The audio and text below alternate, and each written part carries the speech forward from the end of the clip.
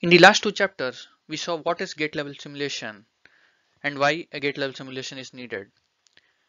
In this chapter, we will try to understand the types of gate level simulation. The first type of gate level simulation is a zero delay simulation. Zero delay simulation means simulating the netlist without annotating any timing data. It is mainly meant for checking and validating the functionality of the design once it is translated into gate level netlist. In zero delay simulation, the specified block delays are ignored.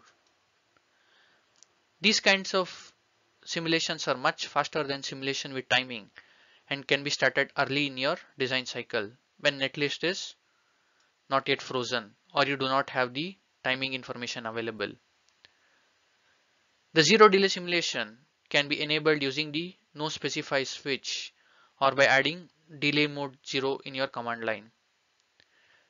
As I mentioned, the simulations are much faster than simulation with timing and can be started early in your design cycle. The second one is unit delay simulation. Unit delay simulation operates on the assumption that all elements in the circuit process identical delay times. Hence, providing any random delay values is similar to adding a unit delay.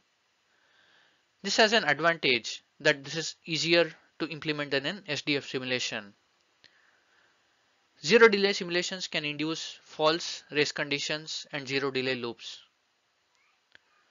The simulator ignores all module path delay information and timing check and converts all non-zero structural and continuous assignment delay expression to a unit delay of one simulation time.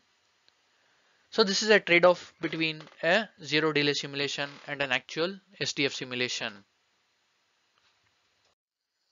The SDF simulation is an actual delay simulation where the delay specified in the SDF file is annotated into your nets of the design and the timing checks are carried out. This type of simulation is much more slower than a zero delay or a unit delay simulation. But this is considered as a sign of for the product. So to conclude, unit and zero delay simulation is used in early stages of your design cycle. But to sign off the product, you need to do SDF based simulation.